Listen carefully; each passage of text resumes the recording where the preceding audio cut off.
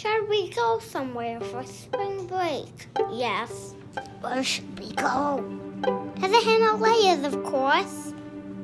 I was just reading this book called Self Guided Tours of the Himalayas. Good. We're going to the Himalayas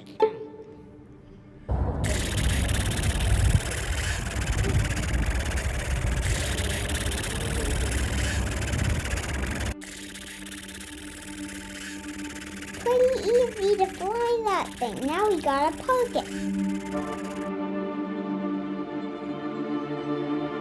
Let's climb that one. That's Mount